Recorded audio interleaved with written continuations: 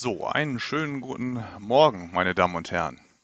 Ich sitze hier wieder ganz einsam vor einem Bildschirm, hat gerade mal einer seine Kamera an. Sie dürfen sich gerne auch beteiligen. Das gibt so ein bisschen mehr ein Gefühl, im Hörsaal zu sitzen. Da wäre ich Ihnen ganz dankbar dafür.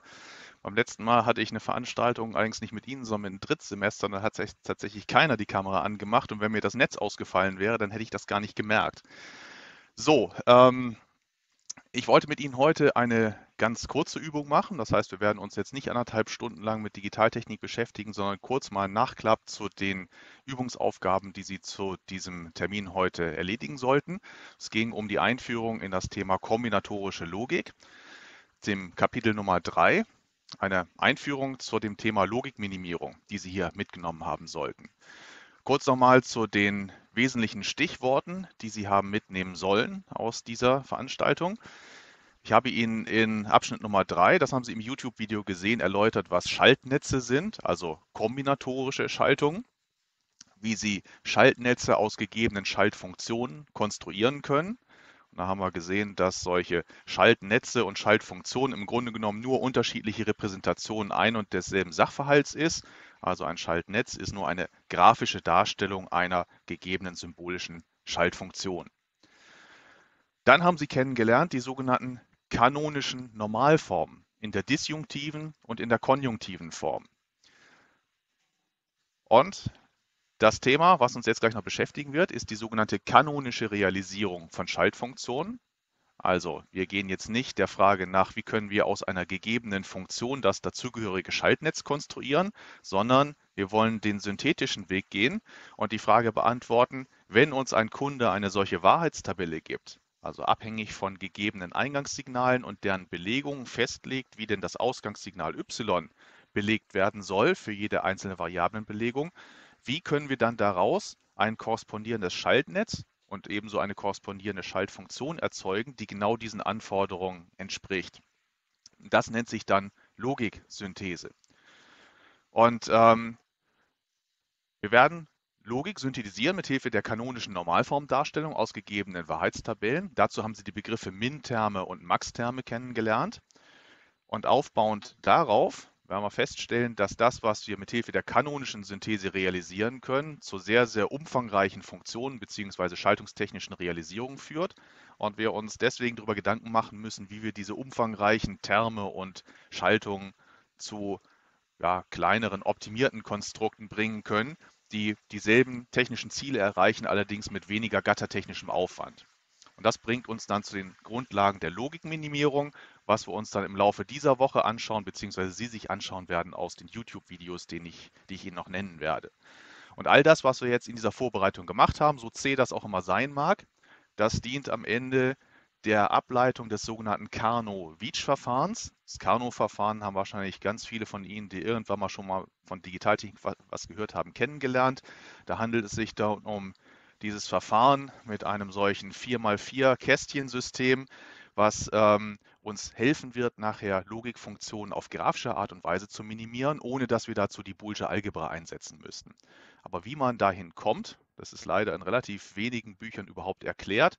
Und genau das möchte ich Ihnen ableiten, weil Sie als Ingenieurinnen und Ingenieure verstehen müssen, wie man zu einem solchen Verfahren kommt, damit Sie wissen, wofür es einsetzbar ist und auch worin seine Grenzen liegen.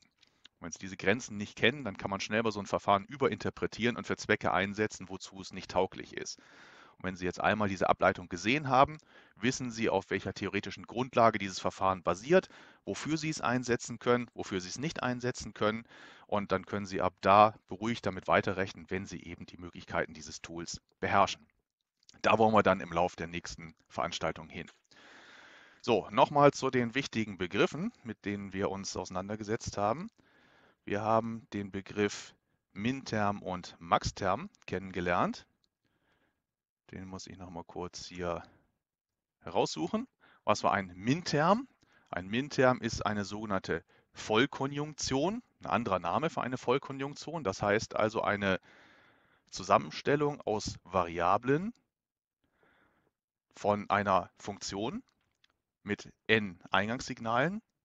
Und diese Zusammenstellung enthält genau die entsprechende Anzahl von Variablen, mit der die Funktion definiert ist. Also wenn wir eine n-stellige Schaltfunktion haben, y als Funktion von n Variablen x1 bis xn, in diesem Fall hier n gleich 3, dann erhalten wir eine Volldisjunktion oder eine Vollkonjunktion genau dann, wenn wir beliebige Kombinationen von Literalen aus genau diesen drei Eingangsvariablen bzw. allgemein n Eingangsvariablen bilden.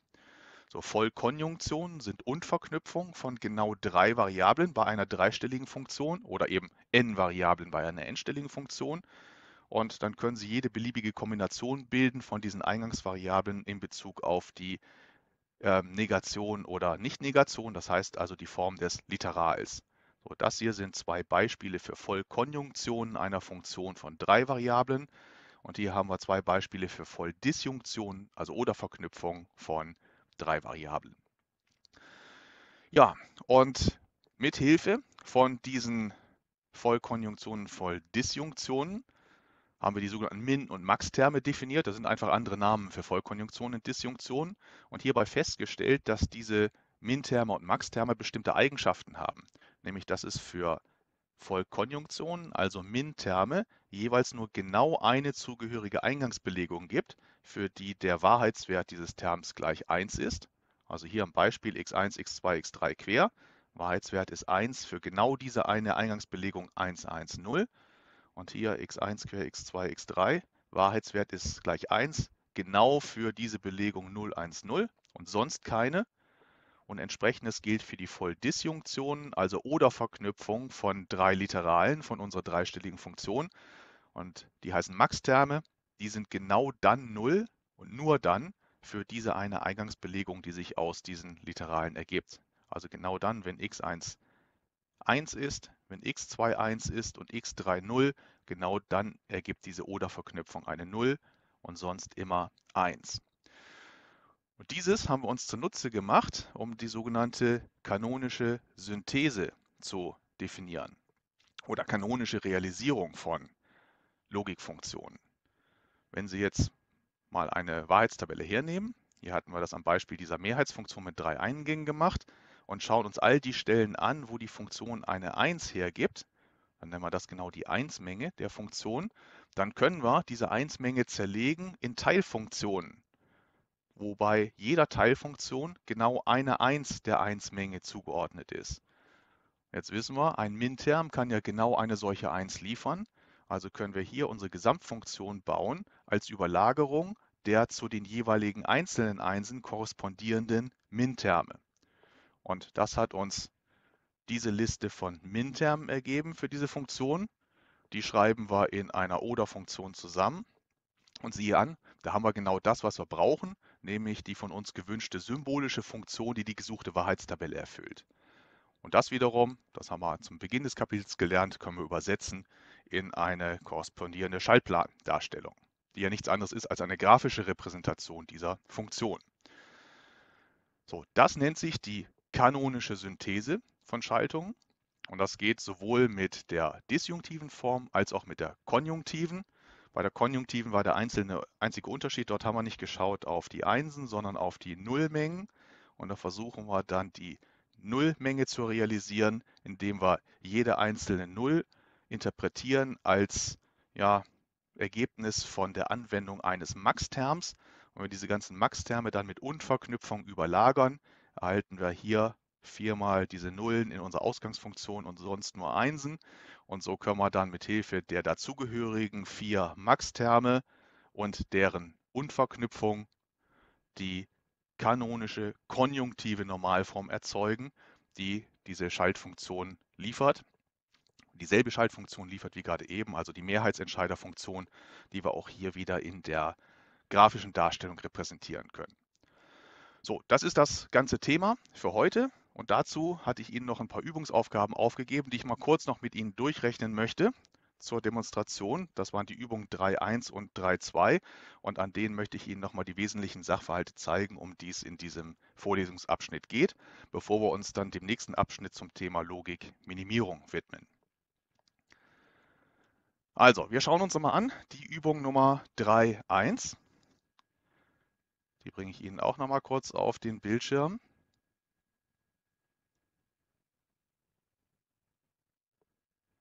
Die Übung 3.1, hier ist sie.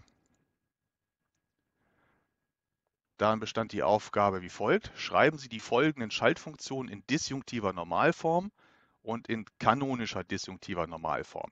Ich möchte Ihnen also noch mal kurz den Unterschied zeigen zwischen der disjunktiven und der kanonischen disjunktiven. Also das hier ist eine Untermenge von dieser Form hier.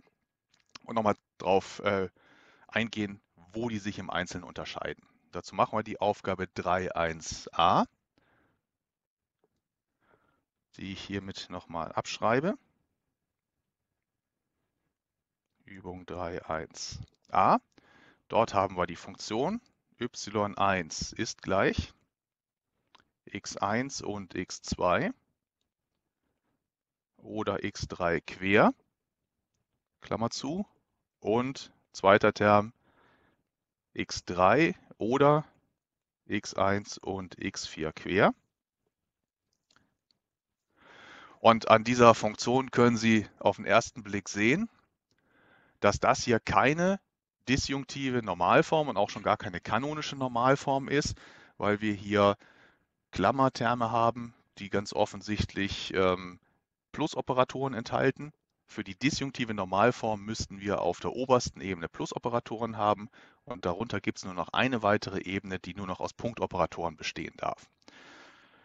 So, damit wir das zu einer sogenannten disjunktiven Normalform überführen können, müssen wir diese Klammern jetzt auflösen. Das können wir mit Hilfe des Distributivgesetzes machen. Wir werden also diese Punktoperation auflösen und dazu x1, Punkt x2, Punkt x3 hinschreiben per Distributivgesetz. So, das ist unser erster Term. Zweiter Term ist 1, Punkt x2, Punkt x1, Punkt x4 quer. Da haben wir zweimal das x1 drin, das natürlich gemäß Idempotenzgesetz dann wegfällt. Also es bleibt x1, x2, x4 quer. Dann haben wir diesen Term x3 quer, Punkt x3.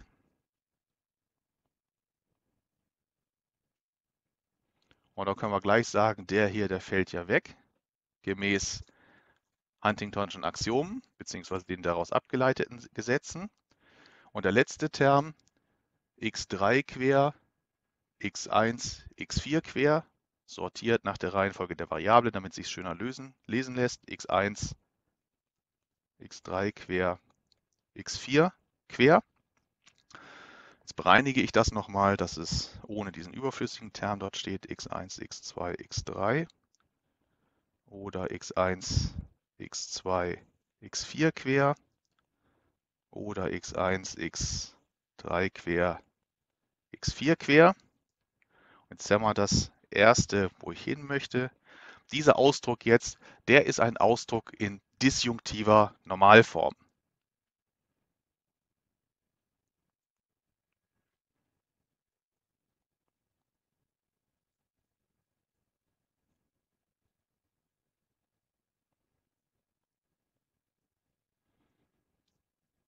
Die disjunktive Normalform zeichnet sich dadurch aus, dass wir ausschließlich konjunktive Fundamentalterme vorliegen haben.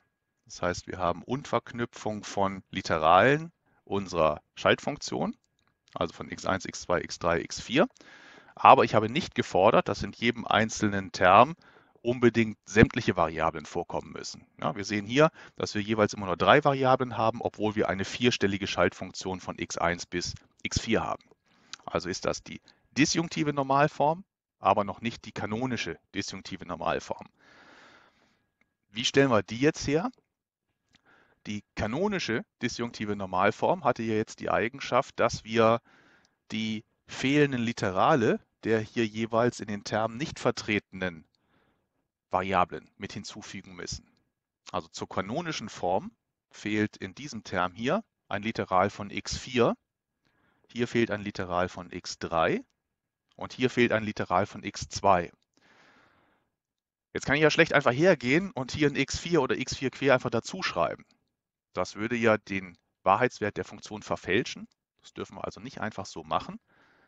Aber es hindert mich niemand, einen Beitrag zu dieser Funktion hinzuzuschreiben, der logisch redundant ist. Was heißt logische Redundanz? Logische Redundanz ist ein Term, den wir in der Funktion sehen, der aber keinen Beitrag liefert zum Ergebnis der Berechnung. Dieser Term zum Beispiel ist ein logisch redundanter Term. x3 quer x3 fällt weg, denn das gibt ja das neutrale Element der, der Plus-Operation. Also das hier gibt n. Und dementsprechend fällt es aus dieser Top-Level-Plus-Operation hier weg. Wir können den Term dementsprechend streichen. So, das kann uns bringen auf eine ähnliche Herangehensweise für die Erweiterung solcher Terme um redundante Terme, die aber die notwendigen Literale mit hineinbringen. Und diesen Tipp möchte ich Ihnen geben. Wie funktioniert das? Wir haben hier offensichtlich einen Mangel an einem Literal der Variablen x4 in diesem Term.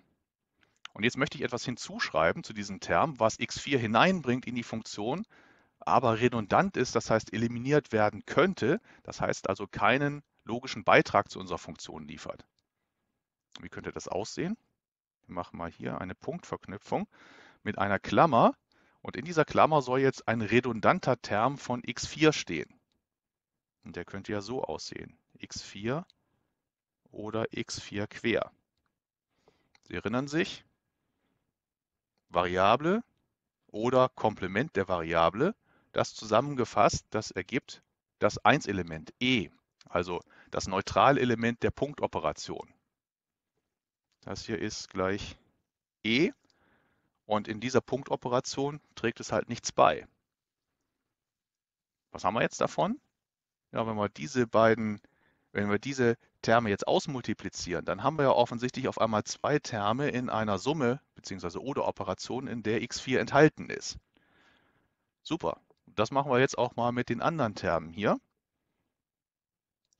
Dort fehlt ein Literal von x3.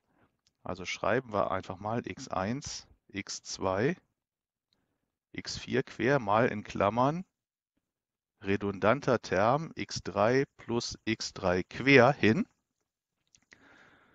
Und hier fehlt ein Literal von x2. Also kommt noch dazu. Sie haben eine Frage?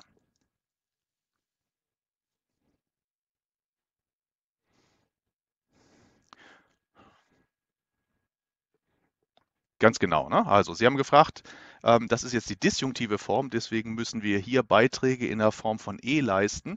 Und das bedeutet, dass wir hier Literale mit dem Plus-Operator, also dem Oder-Operator, beitragen müssen. Ne? Das ist also der neutrale, das neutrale Element der Punktoperation, die wir hinzuführen. Bei einer konjunktiven Form wäre es genau umgekehrt. Dort müssten wir Elemente in dieser Form mit hinzufügen, die also dann neutral gegenüber der Plus-Operation sind. Jetzt bleiben wir erstmal bei den konjunktiven Formen, damit wir die nicht alle durcheinander bringen. Ja, hier ist aber völlig richtig, was Sie bemerkt haben. So, dann haben wir den letzten Term hier. Dort fehlt der, ein Literal von x2. Dann schreiben wir x1, x3 quer, x4 quer und wieder ein Punkt. Und jetzt kommt ein redundanter Term von x2 und der ist hier x2 oder x2 quer. Ich mache dieses hier mal in einer anderen Farbe, damit das nicht so aussieht, als ob es zu dem Term hier gehört. So. Und jetzt können wir das einfach mal ausmultiplizieren. Ja, damit wir die kanonische disjunktive Normalform herstellen können, muss jetzt diese Klammerebene hier weg. Wir haben in der kanonischen Form auf oberster Ebene nur einen Plusoperator stehen und danach dürfen nur Minterme, also Vollkonjunktionen stehen. Und das sieht dann so aus, das ist jetzt nicht mehr so schwer. Erste Klammer auflösen hier gibt uns x1, x2, x3, x4 plus diese drei Variablen nochmal und x4 quer. Also x1, x2, x3, x4 quer. Damit haben wir die erste Klammer beschrieben. Jetzt machen wir die zweite unten dazu. Plus kommt diese hier, x1, x2, x4 quer x3. Und das sortieren wir gleich so, dass die Indizes der Variablen schön in der Reihenfolge stehen, also x1, x2, x3, x4 quer.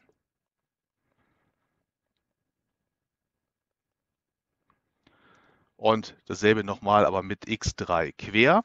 Das heißt also x1, x2, x3 quer, x4 quer. Damit haben wir den und die hier abgedeckt. Und ich rücke das hier noch ein bisschen ein, damit man sieht, wie es gemeint ist. Plus.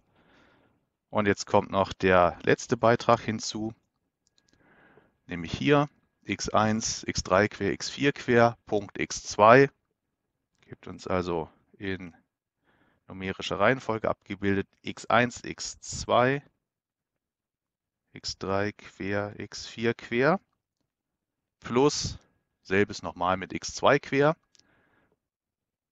x1, x2 quer, x3 quer, x4 quer. Da haben wir jetzt insgesamt sechs Terme. 1, 2, 3, 4, 5, 6, die hervorgegangen sind aus den Dreien der disjunktiven Normalform.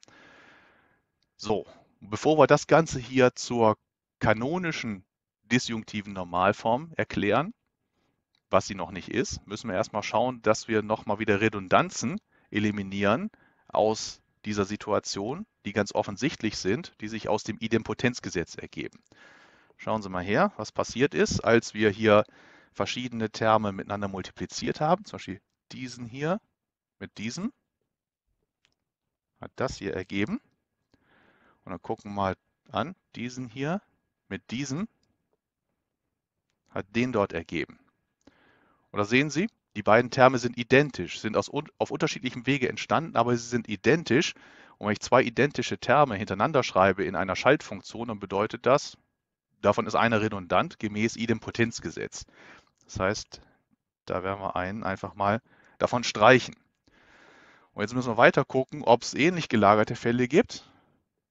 Und dann schauen wir nochmal hier. Dort haben wir einen Term mit x1, x2, x3 quer, x4 quer, der an dieser Stelle auch nochmal auftaucht. Auch die sind gemäß Idempotenzgesetz zusammenfassbar. Das heißt, nur einen von den beiden brauchen wir, sodass am Ende diese vier Terme hier überbleiben, die wir jetzt nochmal einzeln hinschreiben. Das sind also x1, x2, x3, x4 oder x1, x2, x3, x4 quer. Oder, jetzt kommt dieser hier, x1, x2, x3 quer, x4 quer. Und der letzte hier unten, dort ist er, plus x1, x2 quer, x3 quer, x4 quer. So, schauen Sie sich jetzt diese Funktion hier an. Die dort. Ja.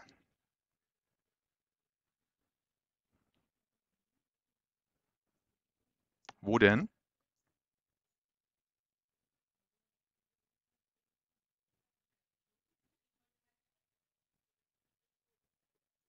Ja. Also dieser hier, dieser hier ist identisch mit dem. Ja? Ja? Genau. Ja? Genau. Ne? Also dieser ist identisch mit dem und dieser hier ist identisch mit dem. Ja? Also, ähm, ich mache das öfters mal falsch. Das werden Sie auch auf dem letzten Video gesehen haben und auch auf dem kommenden Video. Da gibt es einen Fehler, sozusagen sollte Ihnen auffallen. Die werden dann auch irgendwann im Laufe der Vorlesung korrigiert. Aber äh, gerade so im Live-Betrieb kommt man irgendwann mal durcheinander mit den ganzen Quers hier. Also achten Sie genau drauf, was ich da mache. Und wenn es irgendwo mal verkehrt ist, sozusagen merken Sie es an und ähm, merken Sie dann, was richtig gewesen wäre. Also irgendwann wird es korrigiert in den Videos, aber bis dahin ähm, seien Sie nicht allzu verwirrt, wenn es mal für ein, zwei Minuten durcheinander gehen sollte. So, das hier erfüllt nun die Bedingung an eine kanonische disjunktive Normalform. kanonische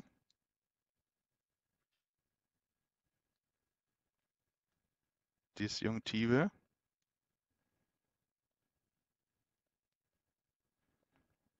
Normalform in Klammern DNF. So, ich trage jetzt mit meiner Notation hier, naja, die ist nicht ganz meine, sondern sie ist durchaus üblich, ein bisschen zur Verwirrung bei, warum nenne ich denn die kanonische disjunktive Normalform DNF und die disjunktive Normalform nicht DNF? Ja, in viel Literatur finden Sie die Konvention, dass mit der DNF die kanonische Form gemeint ist. Manche schreiben auch ein K davor oder auf Englisch ein C für canonical. Das äh, kann man machen, muss man nicht. Ist in jedem Fall so, wenn ich von Ihnen irgendeine disjunktive Normalform verlange und da steht nur DNF, dann verstehen Sie das bitte als die kanonische Form.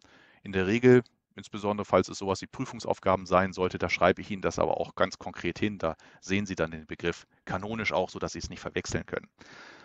Was zeichnet diese Form jetzt aus? Diese Form zeichnet aus, dass wir eine Oder-Verknüpfung haben von Min-Termen. Also alles das hier,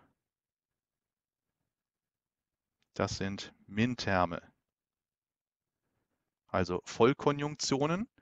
Und diese Vollkonjunktionen, die hatten eben die Eigenschaft, dass sie für genau eine Belegung der vier Variablen eine 1 liefern und sonst 0.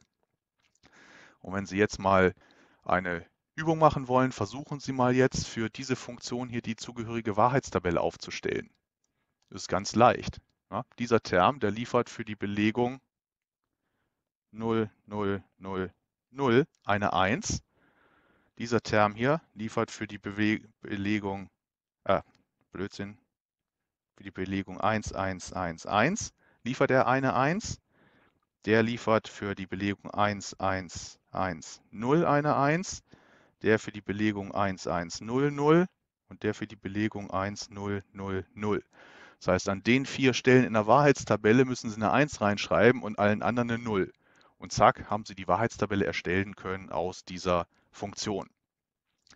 So, das ist genau der Vorteil der kanonischen Normalform. Ihre Korrespondenz zur Wahrheitstabelle ist offensichtlich. Und umgekehrt ist damit auch klar, wenn jede jeder Min-Term eine 1 in der Wahrheitstabelle repräsentiert, dass wir dementsprechend aus der Wahrheitstabelle auch sofort die korrespondierende kanonische disjunktive Normalform hinschreiben können. Das machen wir gleich in der nächsten Übung.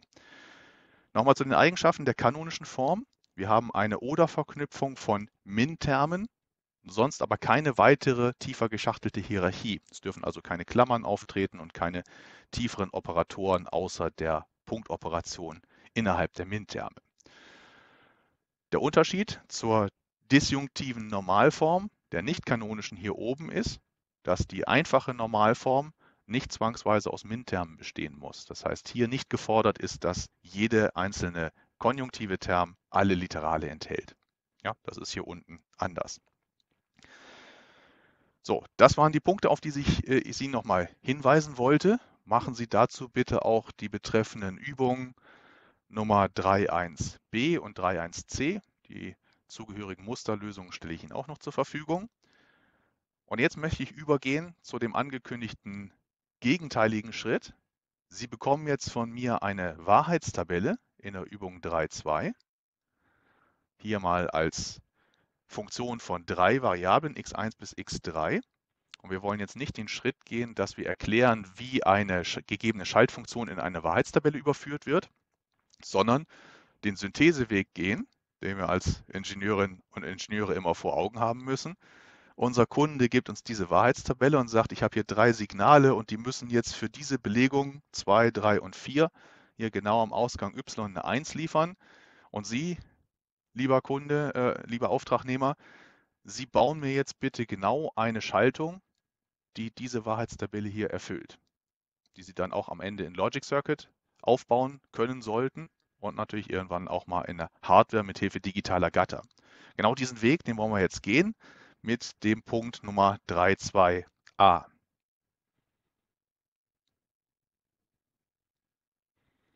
Also Übung 32a.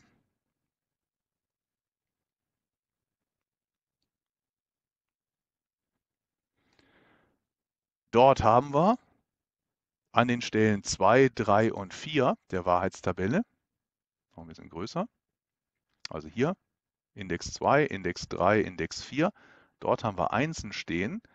Und wenn wir eine Überführung dieser Funktion in eine kanonische disjunktive Normalform vornehmen wollen, dann konzentrieren wir uns genau auf die 1-Menge, also diese drei Indizes 2, 3, 4 und schreiben jetzt für jede 1 den korrespondierenden Minterm hin.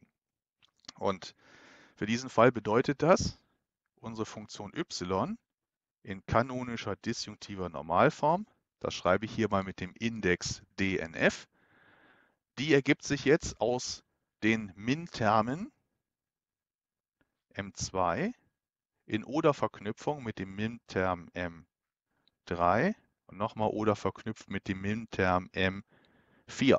Also die drei Min-Terme, die zur 1-Menge gehören. Die lassen sich jetzt einfach hinschreiben. Was haben wir an Min-Term M2? M2 ist ja nichts anderes als diese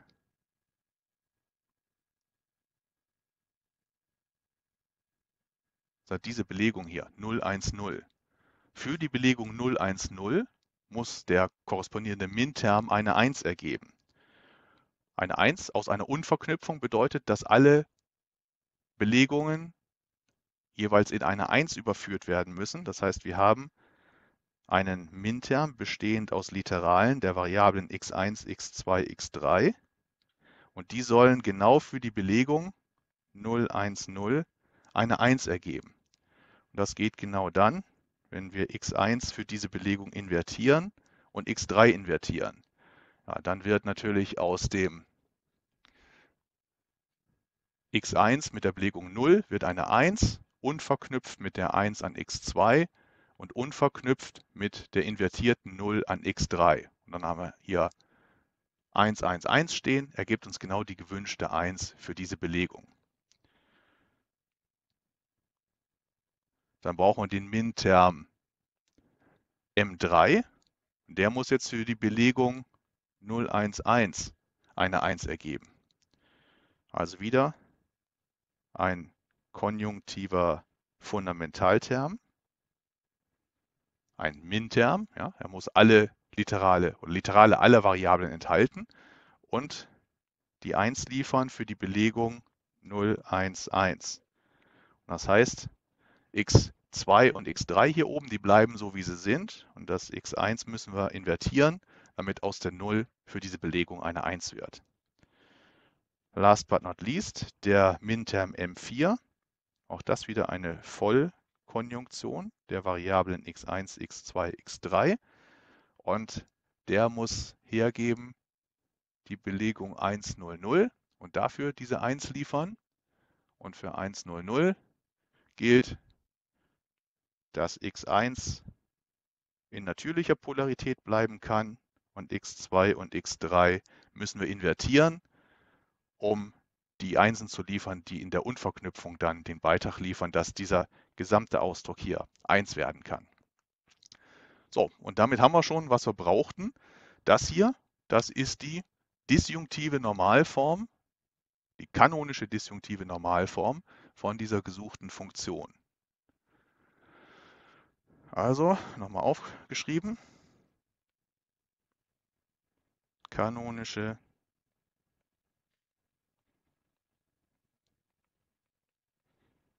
disjunktive Normalform in Klammern DNF. So, so einfach ist das. Und wie Sie daraus jetzt eine Schaltung bauen könnten, die genau diese Wahrheitstabelle wiedergibt, das sollte Ihnen inzwischen bekannt sein. Was brauchen wir hier dazu? Wir brauchen auch auf oberster Ebene ein Oder-Gatter mit drei Eingängen für diese drei Beiträge hier, für die drei Minterme. Und dann brauchen wir drei Und-Gatter mit jeweils drei Eingängen für die Variablen x1, x2, x3 beziehungsweise deren ähm, negative Polaritäten, für die wir dann jeweils noch Inverter beziehungsweise Literalgeneratoren bereitstellen müssen. So, so einfach ist das. Was wir uns dann im Folgenden anschauen werden, das ist die Fragestellung der Logikminimierung. Wenn Sie sich mal diese Funktion angucken, dann werden Sie hier schon wieder feststellen, dass ganz offensichtlich hier Nachbarschaften bestehen, das heißt, dass wir hier logische Redundanzen eliminieren können, wenn wir das mal ausklammern. Das ist jetzt nicht Teil der bestehenden Aufgabe 3.2, sondern ich füge das hier einfach mal mit hinzu. Wie können wir denn hier diese Funktion schreiben? Gucken Sie mal hier. Hier haben wir ganz offensichtlich zwei Terme, aus denen wir x3 ausklammern können, beziehungsweise diesen Term x1 quer x2. Also das wäre ja x1 quer x2 mal in Klammern x3 quer plus x3. Jetzt kommt noch der zweite Term hinzu. x1, x2 quer, x3 quer. Und dann können wir gleich sehen, hier, das, was wir dort unten ausgeklammert haben, ist ja genau der redundante Teil, den wir vorhin zur Erstellung einer kanonischen Normalform hinzugefügt werden, äh, hatten. Der kann jetzt eliminiert werden. Und wenn wir uns jetzt angucken, was überbleibt, dann haben wir hier die Funktion x1 quer x2 oder x1 x2 quer x3 quer. Wir waren also offensichtlich in der Lage, mit Hilfe der Rechenregeln der Boolschen Algebra hier einen redundanten Term zu eliminieren. Und was wir hier am Ende herausbekommen, das dort, das nennt sich die sogenannte disjunktive, disjunktive Minimalform. Das heißt, die Form, die entsteht, wenn wir aus der kanonischen disjunktiven Normalform sämtliche Redundanzen entfernen. Diese disjunktive Minimalform gibt natürlich dieselbe Wahrheitstabelle wieder wie die komplizierte kan kanonische disjunktive Normalform, aber offensichtlich zu viel geringeren Kosten. Ja, wir brauchen hier viel weniger Gatter und kleinere Gatter, um dieselbe Wahrheitstabelle darzustellen. Und das ist das Ziel, was wir in den folgenden Vorlesungsabschnitten verfolgen werden wie wir mithilfe von einem vereinfachten, grafisch orientierten Minimierungsverfahren, dem sogenannten Carnot-Verfahren, aus der disjunktiven Normal Normalform, der kanonischen Normalform, durch Hingucken diese disjunktive Minimalform ableiten können und somit zur vereinfachten Schaltung kommen können, die sich mit weniger Kostenaufwand realisieren lassen als die kanonischen Formen. Das wird unser Ziel sein. Jetzt machen wir zum Vergleich an dieser Stelle nochmal die konjunktive Form. Hier hatten wir ja für die gegebene Aufgabenstellung zunächst einmal die Einsmenge betrachtet. Das heißt also hier diese drei Zeilen. Die disjunktive Form fokussiert sich auf die Einsmenge. Und bei der konjunktiven Form schauen wir uns die Maxtermrealisierung der Nullmenge an. Das heißt, das sind im Endeffekt die Stellen, auf die wir gucken müssen. Also hier, dort und dort. Und das schreiben wir mal auf in der Form y KMF.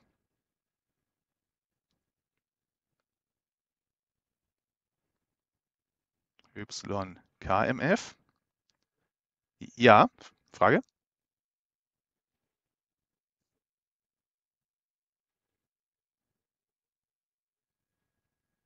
Ja.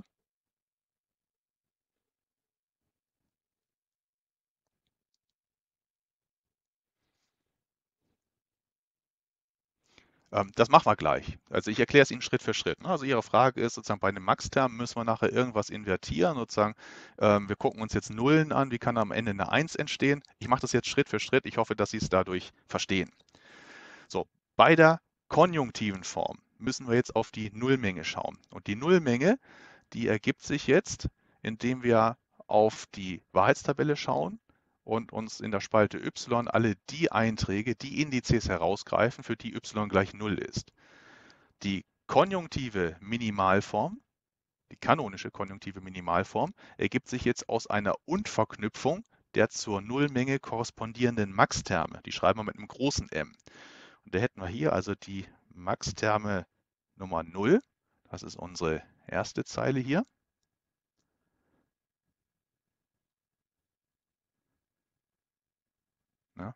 Diese Zeile hier. Dann haben wir den Max-Term Nummer 1. Das ist die zweite Zeile hier. Und aufgepasst, jetzt in der Und-Verknüpfung, nicht in der Oder-Verknüpfung. Und dann haben wir hier die Max-Terme 5, 6 und 7. Also M5, M6 und M7, die wir noch hinzufügen müssen in und Verknüpfung. Und um Ihre Frage von gerade eben schon mal ansatzweise zu beantworten, was ähm, wird denn jetzt passieren in einer Unverknüpfung? Eine solche Unverknüpfung, wann wird denn die eine 1 ergeben am Ausgang. Sie wird eine 1 ergeben, dann und nur dann, wenn alle Beiträge gleich 1 sind. Ja, das heißt, jeder Max-Term muss eine 1 liefern, damit die Und-Verknüpfung am Ausgang auch eine 1 liefert. Und jetzt erinnern wir uns daran, dass die Max-Terme ja nur für eine einzige Eingangsbelegung eine 0 geliefert haben und für alle anderen Eingangsbelegungen eine 1. Ich bringe noch mal kurz die Folie auf den Bildschirm dazu.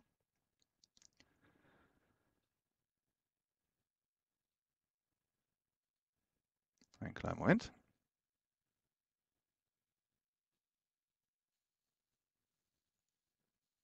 Da ist sie. Also, Min-Therme und Max-Therme. Min-Therme, Max-Therme, Vollkonjunktion, Volldisjunktion. Schauen Sie hier, ein Max-Term besteht aus einer Oder-Verknüpfung von Literalen der beitragenden Variablen. Der ergibt an genau einer einzelnen Position eine 0 und für alle anderen eine 1. Jetzt stellen Sie sich mal vor, dass Sie zwei Max-Terme mit einer Und-Verknüpfung überlagern. Also Max-Term, das ist hier der Max-Term Nummer ähm, 6. Ja? Das ist die Kodierung Nummer 6. Index steht leider nicht davor. Das ist Max-Term Nummer 6 und verknüpft mit Max-Term Nummer 0 zu dieser Belegung hier. So, Max-Term 6 und Max-Term Nummer 0 ergibt eine 0 nur an diesen beiden Stellen. Ja, Sie müssen jetzt unverknüpfen diese beiden Einträge, das und das. Das heißt, nur hier gibt es eine 0 und nur hier gibt es eine 0 in der Unverknüpfung. An allen anderen Positionen sind die beiden Max-Terme gleich 1. Ja, das heißt, Sie realisieren die Einsen in der Output-Funktion an den Stellen, an denen die Max-Terme alle ihre Einsen liefern. Oder genau gesagt, nicht ihre Nullen. Und so machen wir das mit, dem, mit der kanonischen konjunktiven Minimalform von unserer gewünschten Funktion. Das war nochmal diese hier.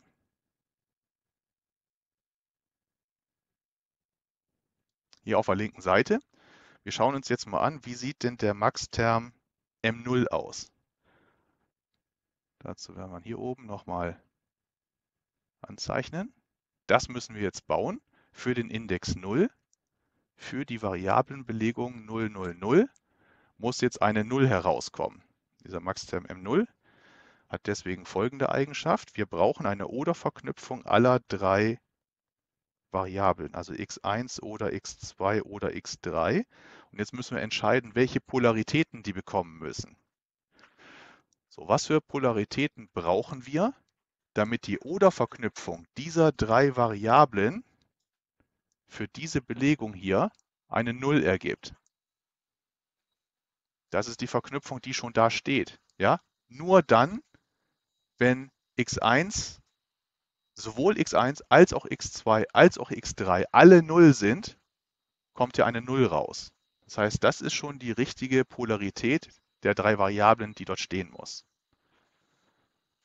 Dann schauen wir uns an den M1. Auch der muss wieder eine Volldisjunktion sein, ein Maxterm der drei Variablen x1, x2 und x3. Das bezieht sich jetzt auf diese Belegung hier die Oder-Verknüpfung dieser drei Belegungen, ja, hier war es 0, 0, 0, jetzt brauchen wir die Oder-Verknüpfung der drei Belegungen 0, 0, 1, muss eine 0 ergeben. Und das geht wieder nur, wenn alle Anteile hier oben gleich 0 sind. Das bedeutet, dass wir den x3 hier invertieren müssen. Aus der 1 hier oben, dort müssen wir eine 0 machen, damit das passt. Und damit haben wir den Max-Term Nummer 1 definiert. Machen wir weiter mit dem M5. Auch der muss x1, x2 und x3 verknüpfen für die Belegung, die steht hier unten, 101. 101. Für diese Belegung muss diese Oder-Verknüpfung eine 0 ergeben. Geht nur dann, wenn wir x1 invertieren und x3 invertieren. Und dann machen wir noch den Maxterm Nummer 6.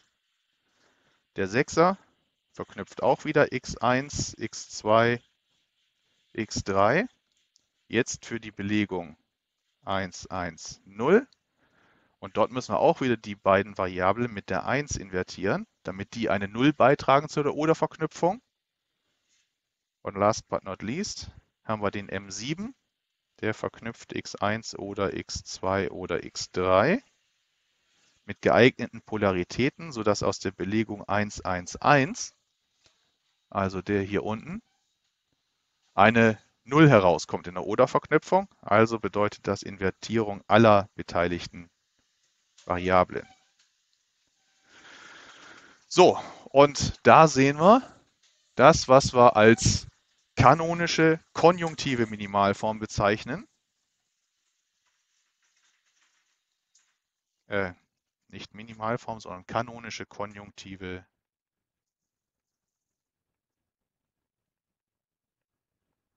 Normalform.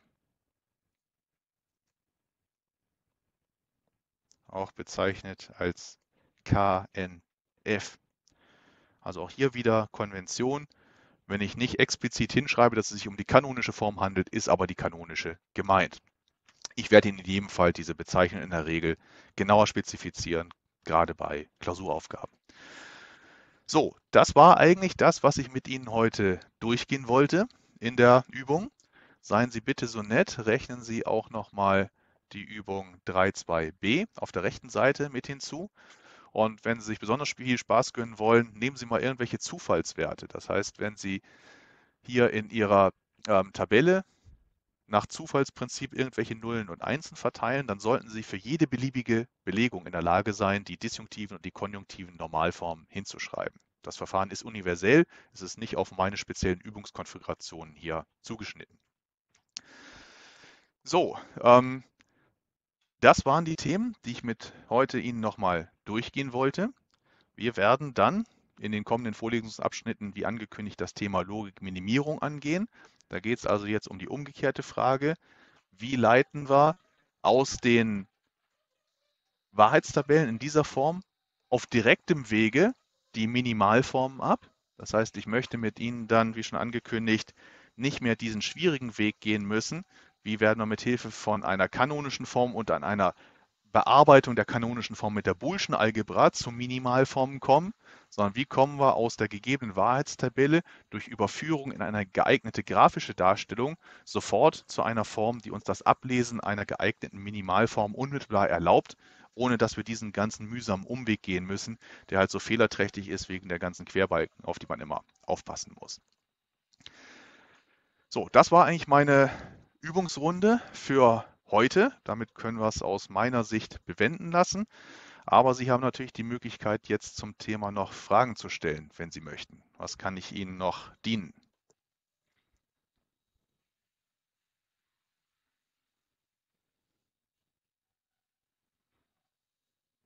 Also denken Sie noch eine Minute nach. Wenn es keine weiteren Fragen dazu gibt, ist auch kein Problem. Dann machen wir heute ein bisschen früher Mittag.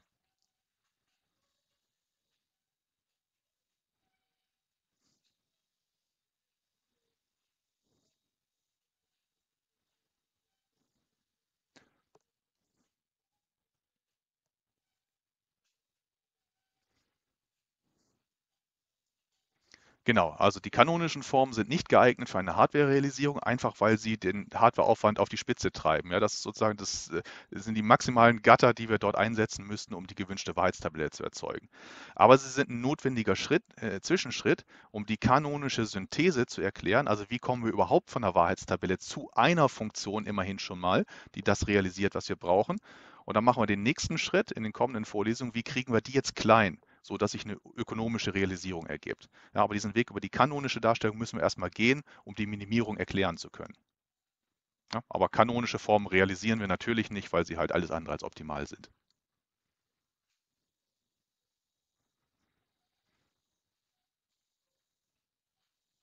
So, gibt es noch weitere Fragen? Also Sie dürfen sich ruhig trauen. Ich kann Sie hören, ja?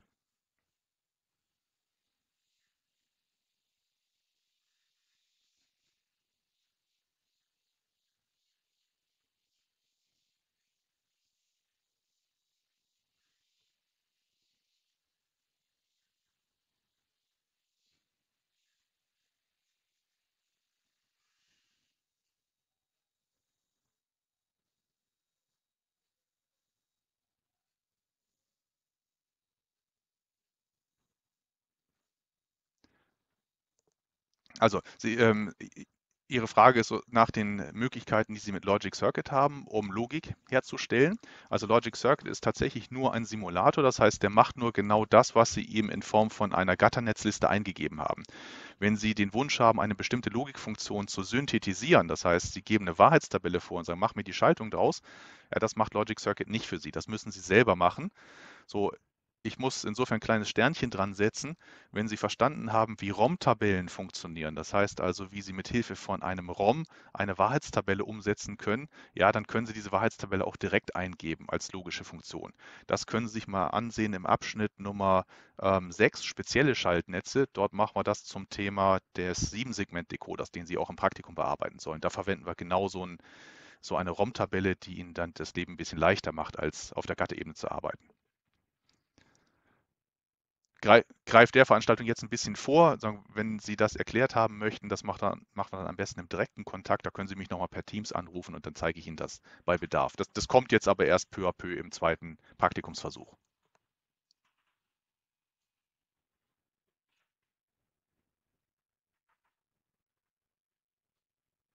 Ja, meine Damen und Herren, dann würde ich sagen, machen wir heute gerne mal 40 Minuten früher Schluss. Dann können Sie etwas mehr in Ruhe zum Mittagessen gehen. Wenn Sie noch Fragen haben, wie gesagt, jederzeit rufen Sie mich über Teams an. Ich rufe Sie zurück für den Fall, dass ich mal nicht an den Apparat gehen konnte, weil ich gerade an anderer Stelle beschäftigt war. Das kommt vor. Und dann kriegen Sie von mir für die kommende Woche jetzt wieder einen Lernauftrag. Das heißt, Sie schauen sich die entsprechenden YouTube-Videos an und rechnen die aufgetragenen Übungsaufgaben durch und können mich dazu dann in der Zwischenzeit auch fragen, wenn Sie möchten. Auch zum Praktikum wenn Sie dort Fragen haben, wenden Sie sich an Johannes Kissling oder mich. Und ähm, bei dem Praktikumsversuch Nummer zwei, an dem Sie jetzt arbeiten sollten, werden Sie feststellen, dass Sie schon ein bisschen der Vorlesung vorausgreifen müssen. Also viele von den Schaltungen, die Sie dort realisieren müssen, haben Sie jetzt noch nicht in der Vorlesung gehabt. Aber Sie sollen das als Anlass nehmen, mal ein bisschen selber in den Unterlagen zu stöbern, auch mal die Literatur zu lesen und sich dann diese Themen so weit zu erarbeiten, dass Sie in der Lage sind, zumindest die Implementierung zu machen von diesen Schaltungen. Also anders gesagt, Sie müssen noch nicht komplett verstanden haben, wie so ein Flip-Flop funktioniert, wie es funktioniert, aber Sie sollten in der Lage sein, aus den Vorlesungsunterlagen und der Literatur eins zusammenzubauen, was funktioniert. Und die Erklärung kommt dann noch. Ja, Frage war noch da gerade? Hm? Alles klar.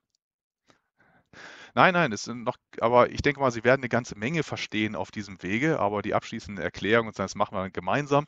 Und wenn, wenn Sie dem schon mal vorgreifen, sozusagen vom Bauen her, dann wissen Sie ja, was Sie gebaut haben und dann fällt es mir auch ein bisschen leichter, Ihnen zu erklären, wie das dann funktioniert.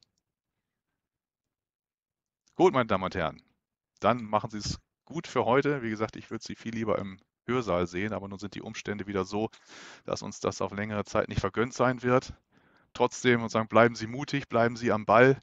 Wir sehen uns dann spätestens an dieser Stelle in der nächsten Woche. Bis dahin.